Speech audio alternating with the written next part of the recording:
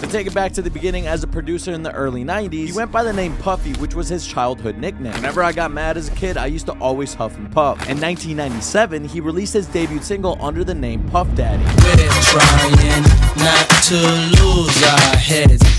In 2001, he changed his name from Puff Daddy to P. Diddy. He had just been found not guilty on a gun charge and wanted a fresh start. I'm rocking with P. Diddy now. My man Biggie gave me that name. In 2005, he dropped the P and just became Diddy and said, I felt like the P was coming between me and my fans. In 2006, he changed his name back to P. Diddy after he got sued by a UK producer named Richard Diddy Dearlove, which resulted in him no longer being able to use Diddy in the UK. In 2008, he changed his name to Sean John, which is the name of his clothing line. In 2011, he changed his name to Swag, but just for one week. This week only, you can call me by my new name.